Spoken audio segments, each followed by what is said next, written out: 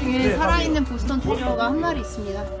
자체 중간에 살아있는 보스턴 테리어. 예, 구조할게요. 아, 안쪽에서 지금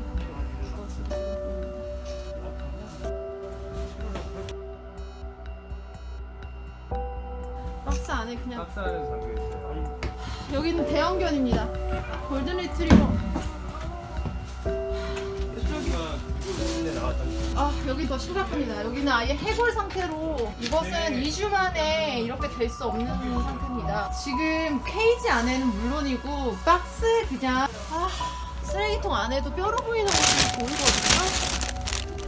대형견 새끼로 보이는데 이